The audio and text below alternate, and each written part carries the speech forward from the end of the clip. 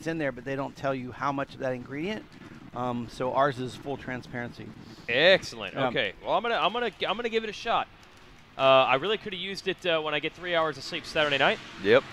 and uh, when I really could have used it after the uh, And, and Friday th- night last week in Atlanta. I'm just And, gonna leave and it th- there. thanks to Arma as well for stepping on uh, with uh, GNCC also. Yep. Yep.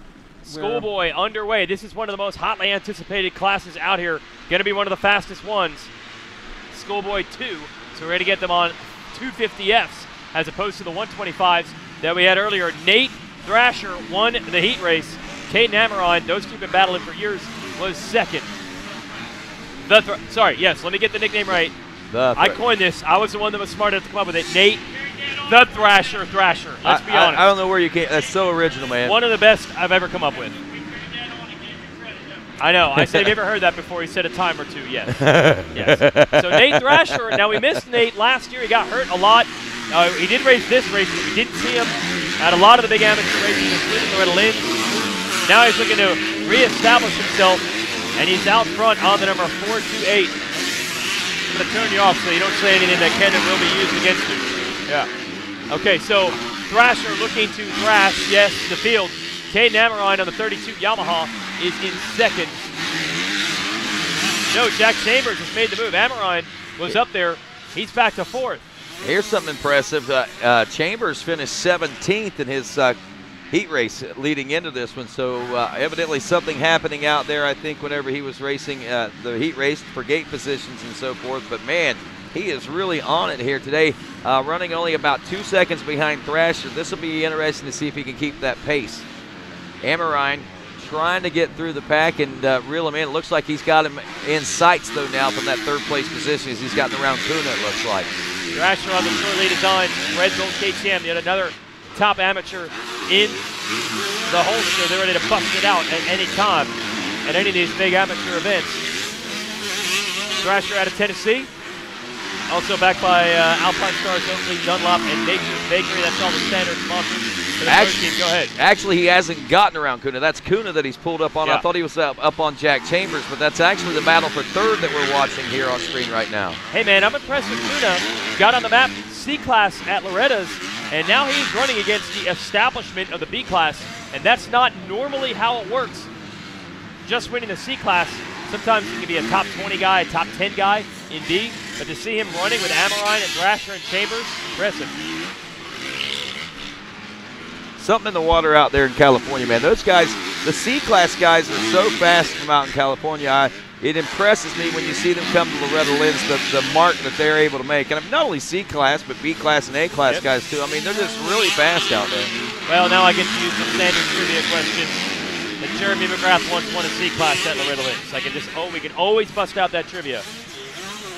We, What- we just mentioned Jeremy, so Sepkovic wants in. Well, I just, I mean, it's funny because uh, when I was at Loretta's this year, I heard Jason telling the story about uh, Jeremy um, with Showtime on his pants, which, Yes. uh, He was in the C class, bro.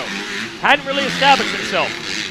Showtime butt patch. Wow, so That I- is putting it out there. that is. So when I got back home, and uh, you know, Jeremy's my partner, and I see him Yeah. on, on, on the daily, and uh, I said to him, I'm like, Jeremy, so I mean, like really, C class? You got to be feeling pretty good about yourself.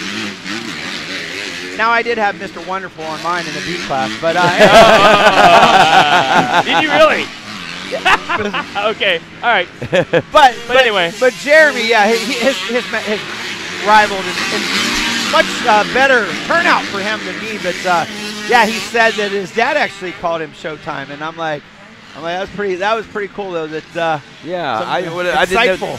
Yeah, I, I thought that Showtime came from Supercross because he was such a showboat and everything, but that was something Good he. Wow, Good that's yeah. which by the way, I didn't even know that until when I was walking through the pits last year at Loretta's. I heard Jason Thank you, saying that, like, oh, Jeremy shows up at you know in the C class with Showtime on his pants, and then I saw the picture they had We there. had a photo. He had it on his is helmet awesome. too, and Yeah. it was like we saw that. You know, hey, this is cool. We have an old picture of Jeremy McGrath, and I'm like, wait a minute, it says Showtime.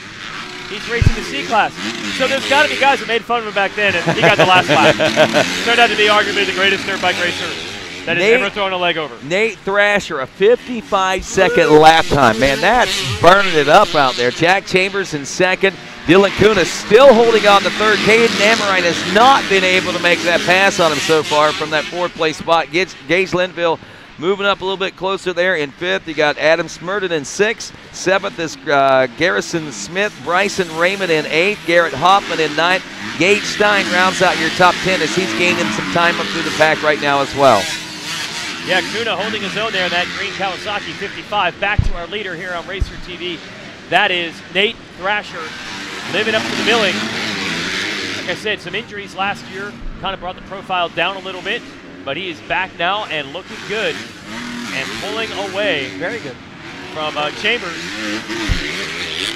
Chambers absolutely dominated earlier today. So this is no slouch who uh, Thrasher's running away from. You know, look at that 56 lap time for Thrasher, 56-3 lap time there for Jack Chambers. 3.7 seconds, really, it's only what separates him. And That sounds like an awful lot, but I mean, you take into consideration the level. I mean, these lap times these guys are running, they're all running in that 56, 55, 57 range. Oh, and there's a oh, oh mistake. Oh. He hit a tough block, and that's what Chambers was looking for. That could have cost him everything there. You saw that, Scott. I saw that. Yeah, it's, wow, it's riding so smoothly, and it's all of a sudden. Hey, so so Sipco, so you raced D-Class, you know those uh, national days. Did you ever race this when they had their amateur day way back? You were an East Coast guy. I never raced Daytona. I did race actually. Uh, my sister sent me a picture. Someone posted of me at Steel City. I did uh, qualify for the national there. Qualified at uh, Troy. Um, White flag out. High yeah, point. So, But yeah. never came down for amateur Never day. came down. I came down here with Jeff Glass. All right. Um, but I was usually uh, uh, helping him drive and or holding his pit board. I wouldn't say I was a mechanic because I could shine it and hold the pit board. But, um, Okay. That's enough mechanical for you. Hold this thing. Mechanical as you get. All right, Thrasher on the last lap. Almost threw it away with that tough block, but holds on to it. Chambers second, Kuna third, Amarine fourth, and Gage Linville rounding out the top five with a lap to go. Uh, that's a good battle for third, but right now Kuna still has it. And There hasn't, I don't think there's been a second between those two this entire race. You're probably right. I think Amaron has been right there with him the whole time. But Thrasher, remember the name. It won't be hard, obviously, with a name like that. But he's living up to it in the amateur ranks and headed to the pros. Won't be long now. I'd say about a year and a half.